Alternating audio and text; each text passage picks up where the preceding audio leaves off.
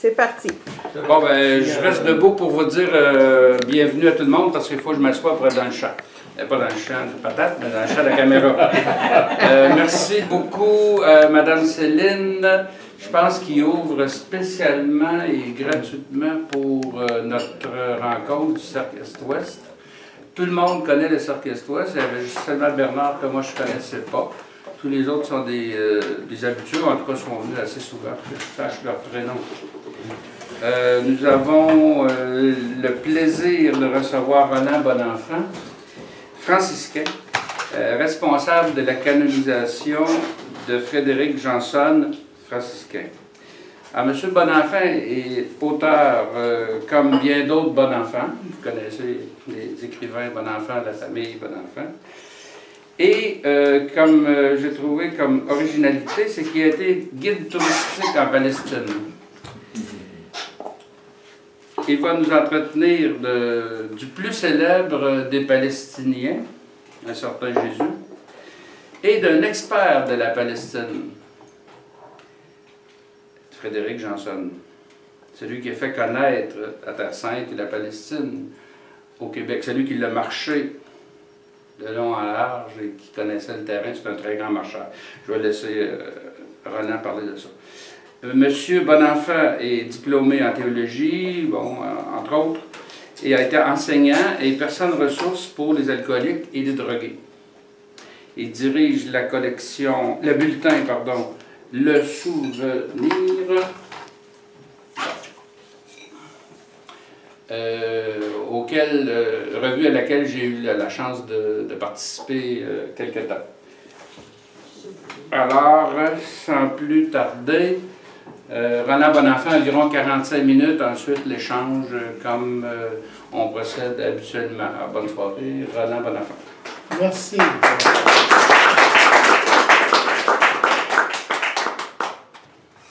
Il me fait grand plaisir d'être parmi vous pour présenter un personnage qui est d'une grande pointure.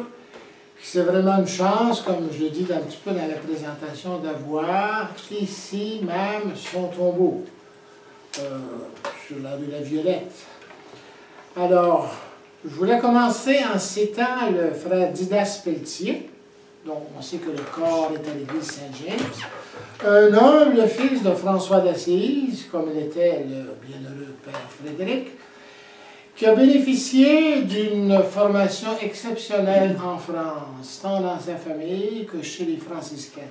C'est vraiment impressionnant euh, tout le parcours euh, qu'il a fait. C'est un homme cultivé, le bienheureux Frédéric, mais qui est demeuré très simple, très proche des gens. Il a joué un rôle majeur en Terre Sainte comme euh, assistant de custode à l'âge euh, le plus productif, entre 38 et 50 ans, durant 12 ans. Et vraiment, c'est c'est vraiment sa rampe de lancement en France, je disais, mais il est providentiellement choisi pour mettre beaucoup de paix en Terre Sainte entre les communautés chrétiennes, surtout au Saint-Sépulcre, le lieu de la sépulture de Jésus, et également à la Nativité. Je dirai un petit peu plus tard que ce qui est arrivé au 16e siècle avec l'arrivée de... Euh, et après avoir vécu tout cela en Terre Sainte, il est arrivé au Québec. Il a- on peut dire qu'il a fait Flores dans une population super accueillante, super catholique, très ouverte. Alors la première fois qu'il est venu en 1881, il est arrivé ici avec Laura de Récollet. On demandait le retour depuis 50 ans, il n'y en avait plus. Ils avaient été très aimés. Avec Laura aussi de Terre Sainte, de Jésus, puis de tous les apôtres et tous les prophètes. Et également, il avait des reliques euh, qu'on n'utilise même pas en Terre Sainte, mais il les avait amenées ici, apportées. Et il faisait vénérer ça aux gens. Et il avait tout son charisme personnel. C'était un homme extrêmement chaleureux qui parlait de la terre de Jésus et de Jésus lui-même. L'homme, Jésus, il- comme François d'Assise, il s'émerveillait que Dieu en personne soit venu converser avec, avec nous. Puis quand on y pense, c'est quelque chose qui est vraiment extraordinaire. On attendait un humain. Toute la prière d'Israël, il attend un humain, un nouveau David, mais c'est Dieu lui-même qui répond. Comme quoi nos prières sont toujours exaucées, il ne faut jamais en douter, au-delà de nos espérances. Je veux, en commençant, vous faire écouter un petit extrait d'une émission de Radio Ville-Marie, parce que vous savez qu'au cours de l'automne, il y a eu 10 émissions euh, sur Radio quelques-uns. Je vois que des gens qui opinent de la tête, qui vous écoutez. Alors, une petite, peut-être deux minutes pour montrer comment c'est un personnage vraiment imposant, impressionnant.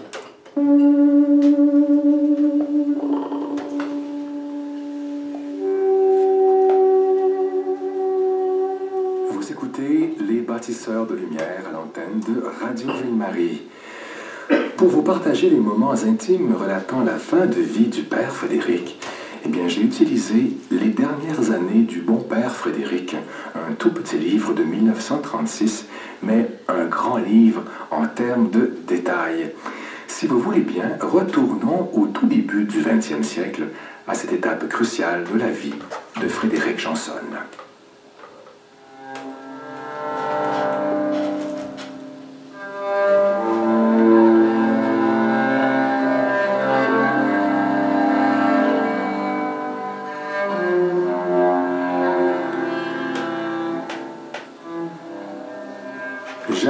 Saura tout le bien que le père Frédéric a opéré au cours de ses voyages. Ce pauvre frère, à qui tout manquait, paraissait en possession de tous les biens. Sa charité inépuisable compatissait à toutes les douleurs physiques ou morales, corporelles ou spirituelles. Sur toutes les blessures, peu importe leur nature, il versait le baume apaisant de sa foi en Dieu. Par son zèle infatigable, il se rendait utile à tous, soit en détournant le prochain du mal, soit en le portant au bien. Il pensait surtout les plaies secrètes, les plaies cachées, celles qu'on a honte de montrer et pour lesquelles il y a de remède qu'en Dieu. Inutile de dire que cette compassion persistante et surnaturelle était fort appréciée. Elle lui valait une réputation de sainteté incomparable. En échange de ses bons procédés et de son amour pour les âmes, il recevait les bénédictions de toutes les familles. Bénédictions qui l'ont accompagné durant toute sa longue carrière et qui se prolongent encore aujourd'hui au-delà du tombeau. Le peuple voyait en lui non seulement un ami, mais un saint. Il en était convaincu jusque dans les plus intimes parties de son âme.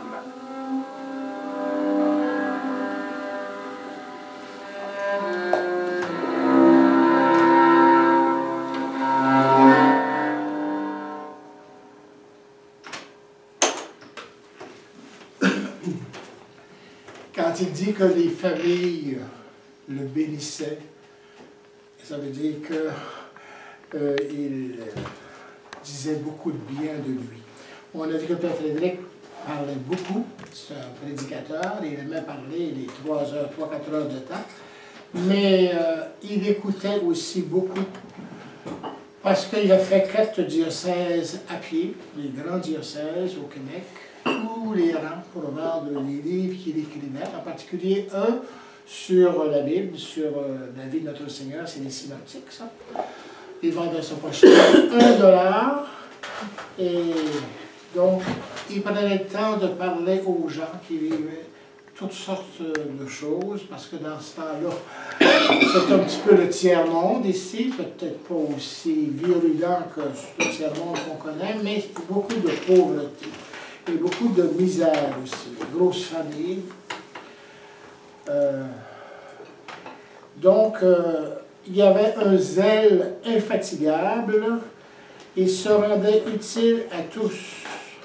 Et surtout, il écoutait, en confession bien sûr, mais souvent dans les conversations, toutes sortes de situations euh, difficiles, puis il consolait les personnes. Et souvent, il guérissait. Il a guéri des personnes à la centaine.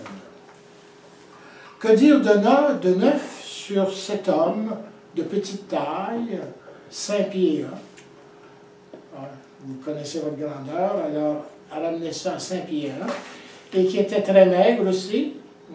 Il est mort qu'il bat un squelette. Ils ont pesé son squelette lorsqu'ils ont ouvert la première fois sa tombe en 1948. Ça pesait 16 livres. Donc, Donc il avait un régime, euh, on sait, très austère. Et c'est ce qui frappe quand on entre à la musée du bienheureux Frédéric. Mais son image de marque, c'est pas celle-là, surtout, ça peut pas passer aujourd'hui, c'est l'image du marcheur, du pèlerin, du missionnaire, pour tout dire. C'est lui qui sort et qui va vers les gens. C'est l'image de marque qu'on a dégagée de lui. Évoquons d'abord, évoquons-le comme un prédicateur enflammé dévoré par le zèle apostolique, animateur de pèlerinage, marcheur infatigable, écrivain d'une trentaine de livres et désirant terminer sa vie, comme ermite sur le mont Tabor, loin de toutes ses courses missionnaires. Alors il été extrêmement trépidant durant sa vie, alors il rêvait toujours de s'arrêter et de contempler le Seigneur euh, transfiguré. Je fais depuis deux ans que je m'occupe de sa cause de, canonisation. Je fais numériser tous les écrits qu'il a faits. Ses manuscrits également, et depuis tout jeune, il prenait des notes. Tout jeune. nous autres, aujourd'hui, on fait une photocopie, mais lui, il prenait des notes. Et également tous ces livres écrits sur lui, une trentaine. Et ça, ça fait 44 000 pages qu'on a sur un DVD. Alors, euh, il y en a qui ont commencé à étudier un petit peu son message, mais il n'y a pas, peut-être pas de message particulier. C'est l'ensemble de tous ses écrits et de sa vie qui est une grande et bonne nouvelle pour nous. Alors, les biographies du Père Frédéric fourmille de détails sur sa vie mystique et missionnaire. C'est un homme qui avait les deux, qui pouvait prier longtemps, des heures, et également qui faisait des courses. Alors, un beau mélange entre vie euh, contemplative et vie active.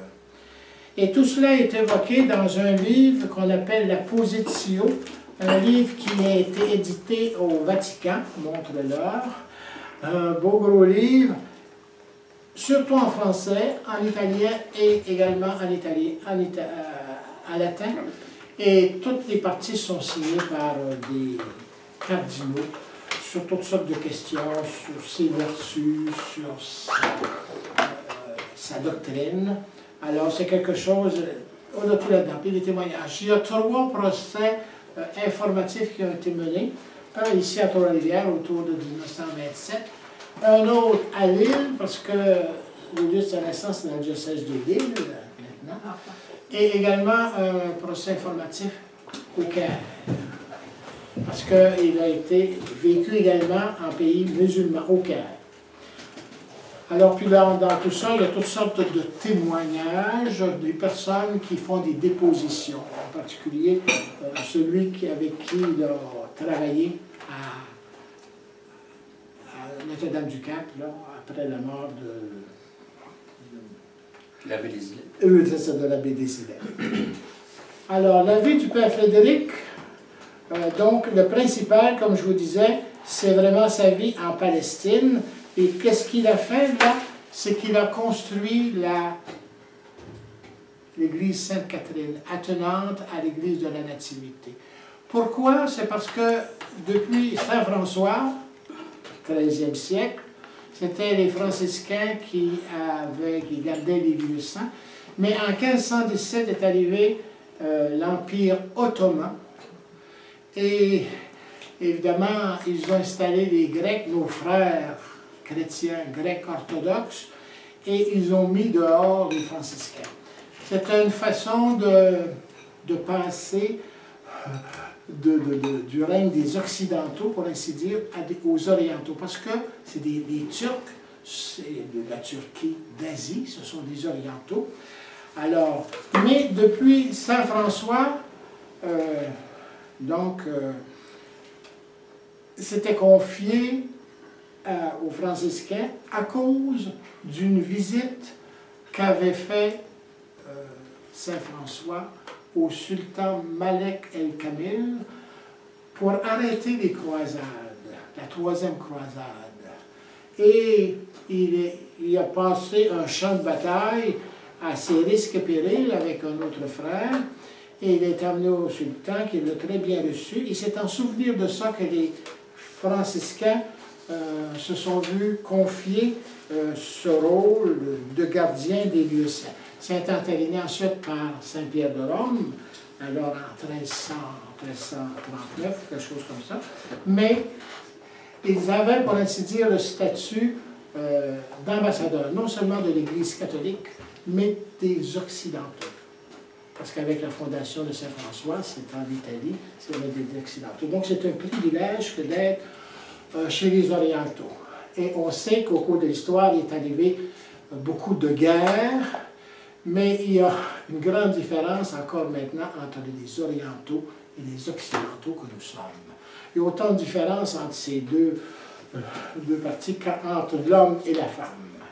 Les visions sont tout à fait différentes, complémentaires, faut-il essayer de dire, mais complètement différentes. Il y a tout lieu entre un homme et une femme de se d'être dos à dos puis de ne pas s'entendre, mais quand l'homme et la femme se tournent l'un vers l'autre, c'est l'amour les plus belles choses arrivent. Alors, on est, c'est tout le, le grand projet de la paix entre l'Occident et l'Orient. Alors, le père Frédéric donc, a construit l'église Sainte-Catherine de Bethléem, et puis il est venu quitter au Canada, parce qu'en en France, c'était très accueillant. Il sortait de la guerre de 1870, après la Révolution française, donc c'était anticlérical, les gens ont peu donné, alors qu'ici, il a trouvé des gens pas riches, mais généreux.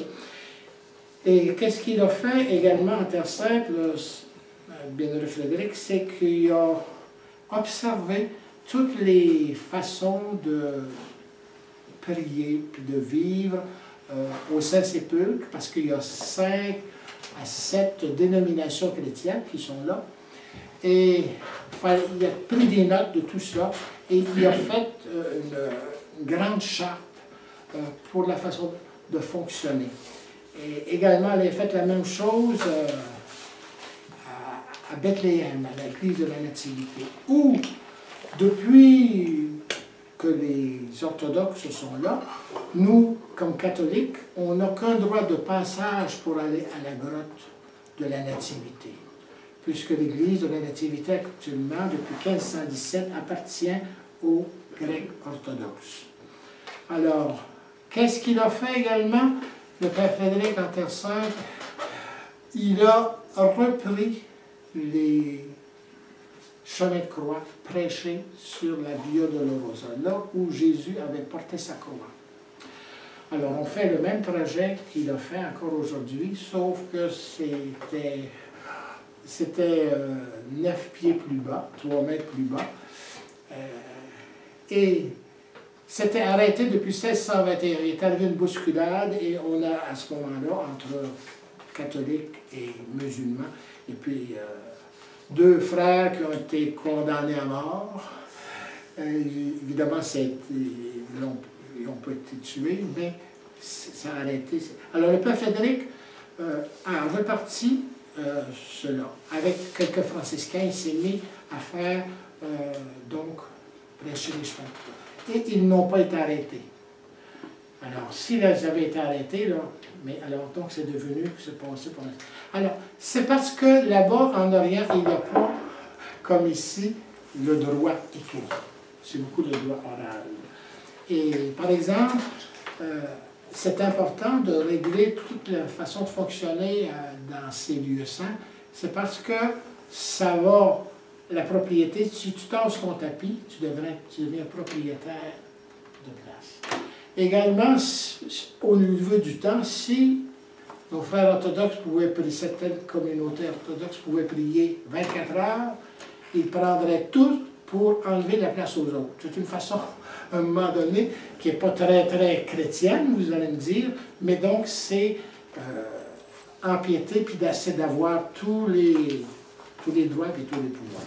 Alors le Père Frédéric, dans ce sens-là, on lui doit aujourd'hui les deux principaux événements qui sont en Eurovision, en Mondiovision, le chemin de croix le vendredi saint sur la Via Dolorosa et également la nuit de Noël à l'église de la Nativité.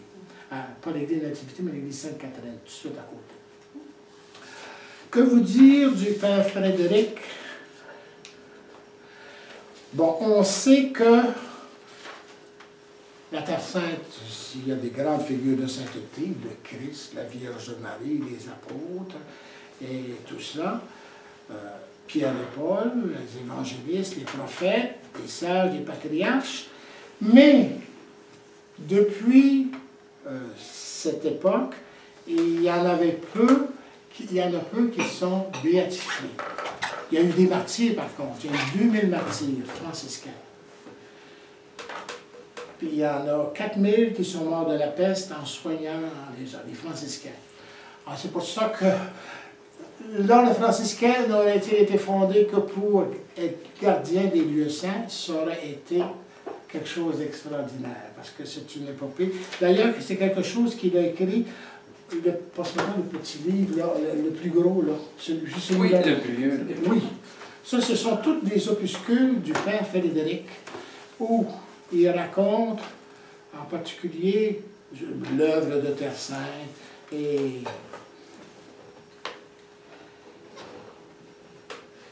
qu'il a écrit, il publiait ça, ça c'était publié, des gens s'en achetaient. Et le père Frédéric, c'est un des seuls qui est parvenu à la béatification, d'abord en son poste de custode de Terre Sainte, mais il y en avait eu des martyrs, il y en a eu beaucoup. Il y en a eu euh, en 1391, le martyr Nicolas Tevlik, il y en a eu quatre à ce moment-là. Il y en a eu beaucoup d'autres également, même au, temps de Saint-François, au temps du Père Frédéric. Et le Père Frédéric, tout comme François, était humble et modeste. Mais les deux avaient beaucoup d'audace. Tout comme Saint-Antoine. Moi, je le compare souvent à Saint-Antoine. C'est pour peu dire. C'est le patron d'ailleurs de la Terre Sainte. Alors, je disais ceci, l'Église catholique saurait-elle se hisser à la hauteur de ces grands personnages et avoir l'audace de déclarer Saint François d'Assise qu'elles sont meilleurs ambassadeurs de paix?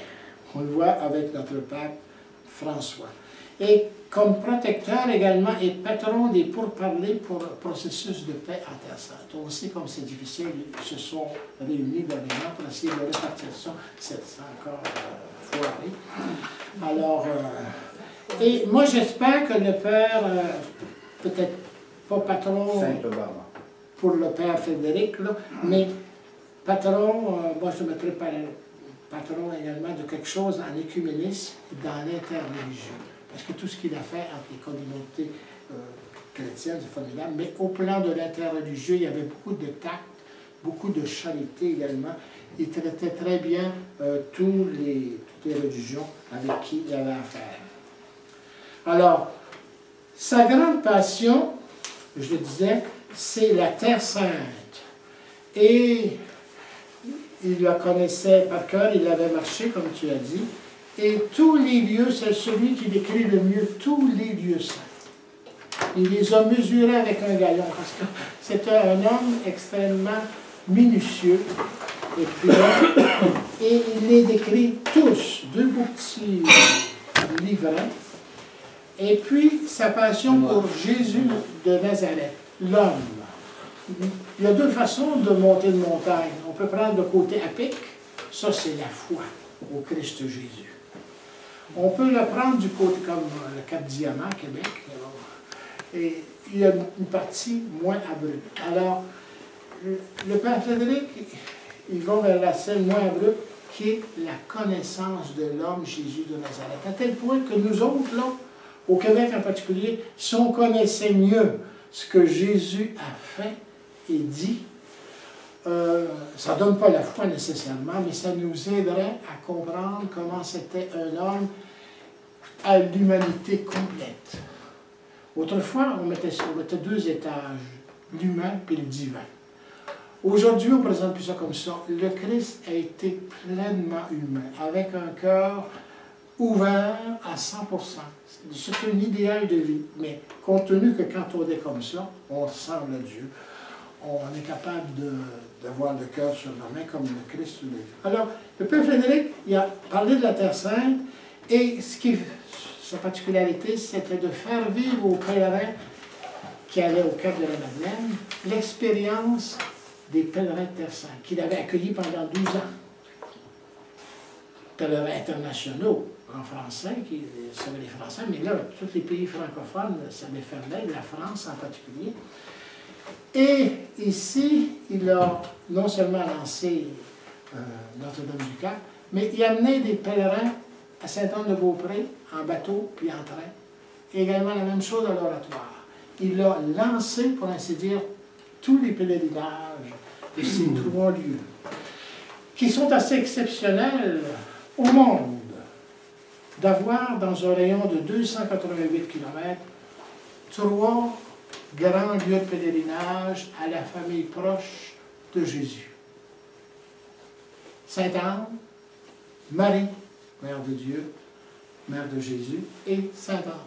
Saint-Joseph. C'est exceptionnel, surtout par Saint-Joseph, où il y a très peu dans le monde euh, de, de, sanctuaires comme ça dédiés à Saint-Joseph. Mais aussi grand, c'est le seul. Alors donc, il a fait énormément. C'est pour ça que les Américains, ils défèlent chez nous. Euh, ils voient une émission sur le Père Frédéric qui passe quatre fois durant l'année. La plupart de nos pèlerins ici euh, sont des, beaucoup d'Américains et des Canadiens actuellement. Parce que les Québécois ont déferlé beaucoup euh, dans les années 50, 60, 70. Parce que la crypte-musée, elle existe depuis 64 ans. C'est un des plus vieux euh, musées. Alors, le Père Frédéric aussi, c'était l'homme de la parole. Euh, c'était pas un grand théologien qui brille à expliquer l'Évangile comme on peut les entendre aujourd'hui, et puis en dégageant tout le, sens de façon progressiste. Non, il répétait ce que l'Église catholique dit depuis toujours, mais il en parlait avec beaucoup de cœur, beaucoup d'élan, beaucoup de chaleur.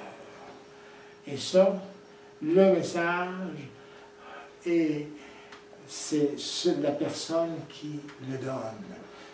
Quand quelqu'un en parle avec conviction, et surtout que dans toute sa vie, évidemment, il, a, il vivait ce qu'il annonçait. il prêchait beaucoup. Je cite un petit texte. Il pouvait prononcer 100 allocutions en neuf jours. 100. Comme il le fit au Caire en 1881.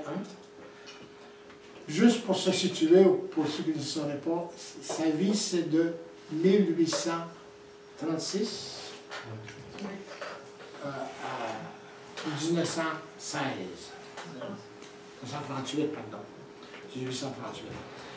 Et également, il pouvait mener deux retraites de front, comme il l'a fait à Bordeaux et puis au Caire. Deux fois, il tombe malade, puis il est presque mort. Une fois au Caire, où il faisait 48 centigrades, puis une autre fois à Québec, où il faisait moins 40. Alors, euh, trop gros. Ah, oui, c'est ça mais il était épuisé également. Il prêchait longtemps, présidait l'Eucharistie, écoutait les confessions aussi longtemps que le curé d'Ars. C'est-à-dire de 8 heures du matin à 10 heures du soir. Les confessions? Oui. Je ne sais pas si vous avez entendu une personne, moi, j'ai confessé une fois deux heures et j'étais rendu au bout. Parce qu'avec chaque personne, il y a quelque chose de nouveau. Oui, puis la fin, il faut être à l'écoute. Et puis, quand il fait chaud, ben, disons quand il est climatisé, il passe encore. Mais... Alors, confessait de 8 heures du matin, et surtout, là, il faisait des records, c'était à la fête de, euh, de 2 août, euh, la fête de la portion où Saint François a voulu partager avec la population ce qu'il avait découvert, parce que François, il, on peut dire qu'il n'avait pas euh, du jugement de Dieu. Et il se pensait damné très souvent, un homme aussi saint. Alors, un moment donné, dans, ses rêves et ses visions, il a vu, il a compris que Dieu l'aimait et qu'il lui pardonnait tout. Et il s'est mis à annoncer ça le matin quand il réveillé à tous ses frères. Hey, on est sauvés. Alors, il était tellement content de cette libération qu'il a voulu le partager. Il est allé voir un pape. Et puis, euh, il a obtenu l'indulgence plénière de la portion que sans qu'on soit obligé de donner de l'argent, comme en allant euh, à Compostelle ou à Saint-Pierre de Rome ou à Jérusalem. Le pape il a donné immédiatement au temps de Saint-François la permission, cette indulgence plénière. Mais là, aussitôt que François a eu le dos tourné, les cardinaux ont dit Saint-Père, vous mettez à terre toute l'Église catholique, puis, tous ces lieux de pèlerinage, tout notre financement. Alors le pape a, dit, bon, on ne promulgue pas. Ah, il avait donné verbalement sa permission, et c'est quand il y a eu un pape franciscain, pas longtemps après la, vie de Saint François, en, déjà en 1289,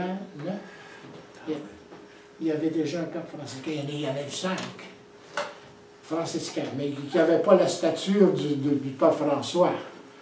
C'était, bon, comme les autres papes, là, euh, merveilleux par certains côtés, avec leur grandeur et leur misère aussi. Et, c'est ce pape franciscain, Nicolas IV, qui a sorti ça des boulamites. Et, et là, il y a eu commencé à avoir des foules qui sont allées euh, à Assise et à Rome, à tel point que en l'an 1300, ils sont arrivés, une délégation, on dit, il y a eu en 1200 une année sainte, et puis, alors, c'est comme ça, c'est à la suite de, ce que Saint François avait, avait, fait que les jubilés dans l'Église ont commencé. Comme on a eu dernièrement, jubilé, le jubilé de l'an 2000. Ça a commencé en l'an 1300. 12 ans après que cette fameuse, euh, ce fameux pèlerinage l'indulgence de la portion que, on appelle ça l'indulgence de la portion que, où c'est très célébré en Italie. Il y a tous les, les jeunes du pays viennent de, tous les coins puis se réunissent à Sainte-Marie des Anges. Bon, ça, c'est peut-être pas nécessaire. Mais pour dire que François, il a présenté tous les saints franciscains. Lui, il était juste en formation et déjà il écrivait avec un certain père qui écrivait l'auréole séraphique des gros livres du temps. Puis j'ai beaucoup dans une encyclopédie qu'on appelle les Bollandistes et il travaillait avec lui. Il a présenté Saint-François, des livres, des gros comme ça, sur Saint-Antoine également, sur Sainte-Claire, et il connaissait beaucoup. Un grand amour de Saint-François et de tout le charisme franciscain, comme qui, vous le savez, est un charisme de simplicité. Euh, suivre les traces de Jésus dans la pauvreté, mais en expérimentant la pauvreté que le Christ a connue et sa très sainte mère, alors on s'ouvre peu à peu à toute la richesse de Dieu. Ça fait-tu 45 minutes, là? Est-ce que c'est entendu? Non, pas encore. Pas encore? Êtes-vous fatigué? Non, non, non. non, non. Ça fait 30? Sur toi, Rivière. Oui. Alors, son grand secret maintenant, c'était, on le devine, sa vie intérieure. On approche de Noël, on prépare des crèches et puis bon, on fait des décorations. Mais il ne faut pas oublier que le plus important, c'est de faire de son cœur une crèche. Accueil, pour accueillir Dieu. On l'a déjà accueilli, mais l'accueillir toujours davantage. Parce que dans l'accueil, il y a il y a toutes euh, des nuances. Et puis, alors, on est invité, vraiment, ça, ça veut dire que durant l'avance, garder un petit 5-10 minutes par jour ou une demi-heure pour faire silence, prier. Euh, dire à Dieu, au Seigneur, tout, ce qu'on porte dans notre cœur, lui parler également du monde actuel. Sainte Claire d'Assise dit que le, moyen le plus fort pour faire arriver les choses, c'est la prière. C'est la prière. Parce que la prière, bon, on ne réveille pas la mémoire de Dieu. Dieu sait très bien ce dont nous avons besoin. Mais on se met soi-même en marche par la prière et déjà on se met à des dispositions. euh, puis on fait changer euh, beaucoup, de, beaucoup de choses. La prière, pardon. Et son grand secret, c'était sa dévotion à la Vierge Marie. Quand on y pense, on va passer la fête de l'Immaculée Conception. Il y avait des choses qui sont dites, mais en fait, c'est tout le temps de la préparation de la Vierge Marie, mais toute la préparation de la venue de Jésus, c'est ça qu'on célèbre. C'est pas improviser la- venue de Jésus dans notre monde, c'est longuement préparé. Et dans le cas de la Vierge Marie, ben on sait. Et à la Vierge Marie, le Seigneur a eu quelqu'un qui répondait parfaitement. Vraiment, euh, quelqu'un selon son cœur. Et, et donc, tous les grands. François. euh, Frédéric a vécu, pour ainsi dire, comme la Vierge, une annonciation, quelque chose de très fort on lui annonce à la Vierge Marie la naissance de Jésus. Et elle se met tout de suite en route pour faire de la visitation. Le Père Frédéric a vécu de nombreuses annonciations dans sa vie très fortes. Et ensuite, il n'a fait que des visitations. Il a visité tout le monde. Alors, c'est un petit peu un modèle de euh, le trop-plein qu'on a en nous de le porter aux autres, comme la Vierge Marie. Et elle partit en toute hâte. Nous, on pense que Dieu tarde à répondre à nos prières.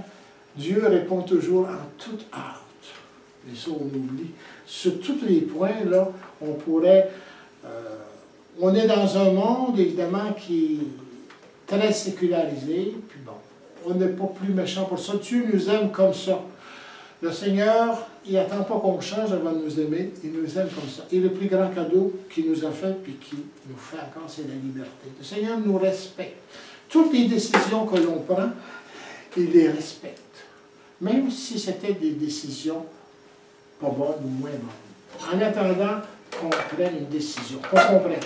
Parce que le Seigneur attend qu'on comprenne.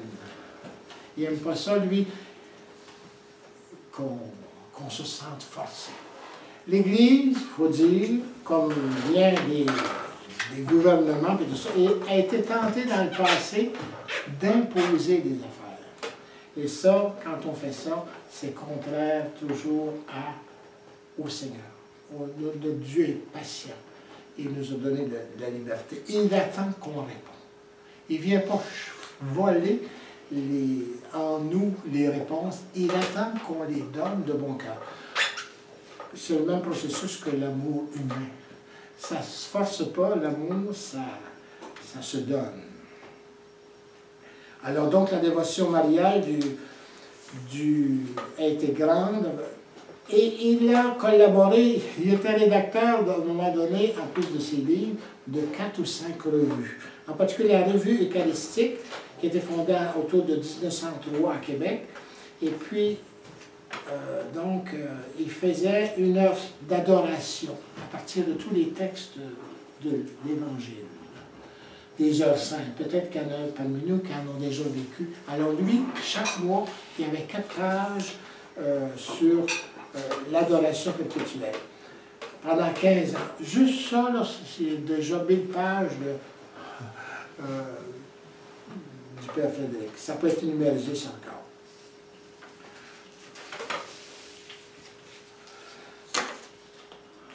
Alors, il est, branché euh, sur la vie intérieure. On la- sa théologie, c'est une théologie à genoux, une théologie contemplative. C'est pas une théologie qui fait juste énoncer des affaires. Le Père Frédéric, c'est un homme de prière. C'est ça qui nourrissait toute sa prédication, qui nourrissait toutes ses rencontres. Et sa grande force, le Père Frédéric, c'est d'inspirer confiance. Et, euh, et de motiver. C'est un motivateur. Parce que on,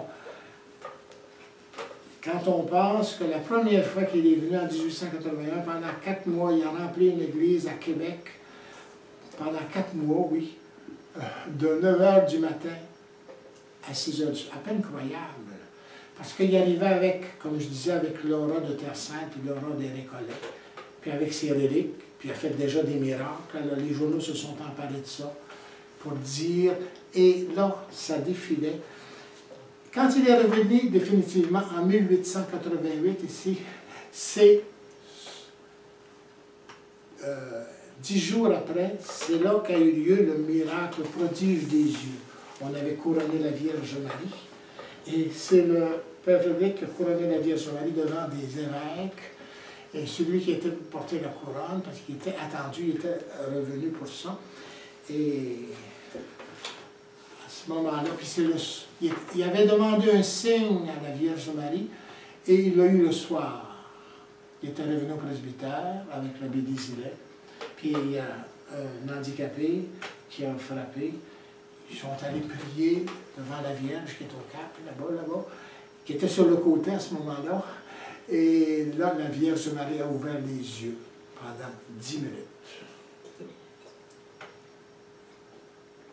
Et si les trois ont attesté ça devant notaire, hein, il l'appelle euh, le prodige parce que le prodige, c'est quelque chose qui sort de miracle, ça, ça veut dire qu'on a la foi. On pourrait dire miracle des yeux, mais c'est pour des croyants quand on emploie le mot miracle. Mais autrement, pour quelqu'un qui ne serait pas croyant, c'est un prodige. La Vierge Marie, euh, qui, était, qui, très belle, même si la statue est en plante, il reste que c'est la statue de la médaille miraculeuse à la du Bac à Paris. Et puis, euh, donc, c'est une médaille miraculeuse, qui, est bonne pour tout, ça, toutes sortes de guérisons. Alors, c'est cette médaille-là. Donc, c'était un grand motivateur. Et son but, c'était de faire revivre, euh, son objectif, c'était de, faire revivre la rencontre du Christ. Parce que c'est bien important la nouvelle évangélisation, c'est que quand vraiment le Christ, ce soit une rencontre vitale, comme une rencontre personnelle. Alors donc, ce n'est pas des notions, c'est pas... Alors, c'est quelque chose qui intègre également, comme dans un amour, à la fois le cœur, l'esprit et le corps. Euh, je vais pas terminé, mais j'avais vous parler, vous dire que à la chapelle Saint-Antoine, euh, tous les deuxièmes vendredis du mois, à 3 heures de l'après-midi, l'heure de la Passion du Christ, il y a une prière pour la Terre Sainte au tombeau, depuis un an et demi. Alors, il y a des gens qui viennent, alors, euh, on a utilisé une prière de Jean-Paul II qui demande que tous les peuples de Terre Sainte euh, abattent le mur de civilité et de division entre eux. Alors, on confie tous les gens qui habitent le pays où vécu Jésus, puis on demande qu'ils aient du respect, de la compassion les uns pour les autres.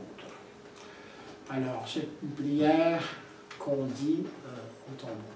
Alors, j'essaie, moi, de renouveler toujours les, présentoirs. C'est déjà un petit travail en soi. Et comme moi, quand j'ai été nommé, je croyais que c'était pour toute la français. Donc, pour moi, ça ne m'embêtait pas. Je suis d'une famille, comme tu as dit, d'écrivains. Alors, je savais que j'avais la, capacité et la possibilité de, de, bien faire ça. Mais, est arrivé le défi, c'est la langue anglaise. Alors, j'ai une traductrice américaine qui a déjà 12 livres de traduits, et puis elle traduit des prières. Et Monseigneur, j'ai demandé euh, une nouvelle prière. Alors, je vais vous la lire, hein, puis on prendra une petite pause après. Euh, Monseigneur Lu, euh, Bouchard, qui, on avait une qu'on disait depuis assez longtemps, mais peut-être qu'elle peut-être pas assez caractéristique. Alors, quand les gens viennent prier au tombeau, puis il y a à peu près 125 autobus euh, euh, par, par année, surtout les fins de semaine, Dieu éternel et tout-puissant, tu as accordé au bienheureux Frédéric Janson, fils de la France, de suivre en Terre Sainte les traces de ton Fils et d'y travailler pour la paix. Tu l'as ensuite conduit au Canada pour inviter ce peuple à être généreux envers la Terre Sainte, pour fonder le sanctuaire du Cap de la Madeleine et pour mieux faire connaître la vie de Jésus de Nazareth et de sa très sainte mère. Donne-nous de devenir à notre tour de vrais pèlerins et de véritables missionnaires de ton Église, que nous soyons également de solides piliers de la foi dans nos communautés chrétiennes. Accorde-nous à sa prière la faveur que nous sollicitons. Ici, un petit moment de pause et on continue. Donne à ce fils de Saint François d'Assise d'être bientôt canonisé et de nous attirer tous vers ton Fils, Jésus notre Seigneur. Amen. Ben, merci beaucoup, euh, Roland, bon enfant. On fait une va se un peu.